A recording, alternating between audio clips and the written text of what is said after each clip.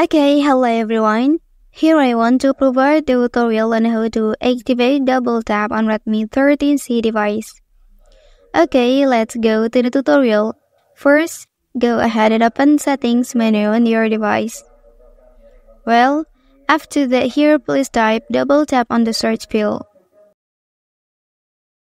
And then you can select this one. Okay, after the intersection, just press on this button and then you can double tap to wake or turn off screen device is locked. Okay, and then double tap feature is successfully active on your device. Well, that's the tutorial on how to activate double tap on Redmi 13C device. If you are helped by this video, don't forget to like and subscribe to get other information from this channel. Thank you.